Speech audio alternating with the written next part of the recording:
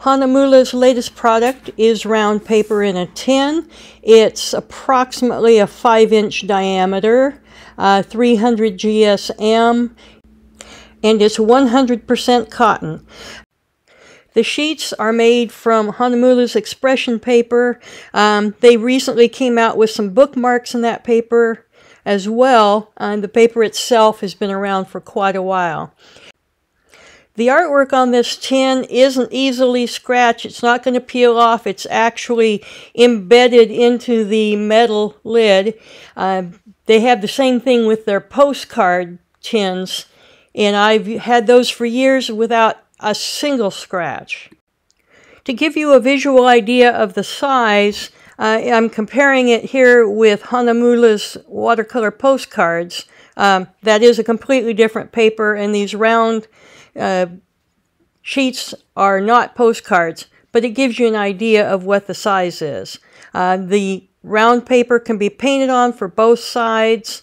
It holds up to tons of water. It's a paper I love working on. Let me show you.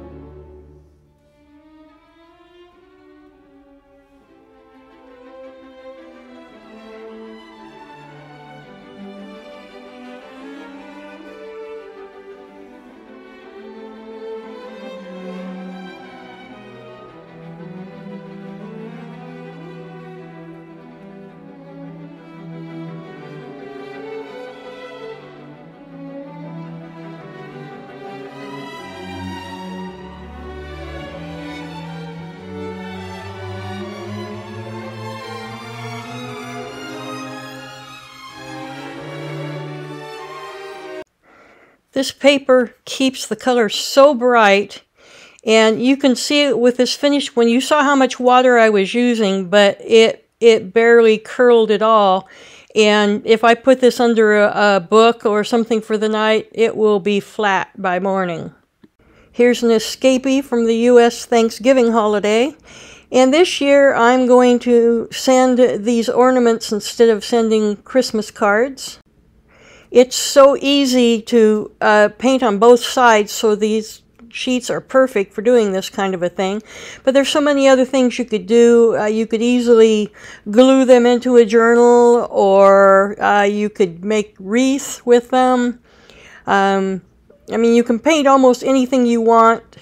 The only thing is you might do something to mark the top so that if you scan or photograph it, it's a little bit easier to tell where the top is. I hope you've enjoyed this review. I really like this paper and I think you will as well.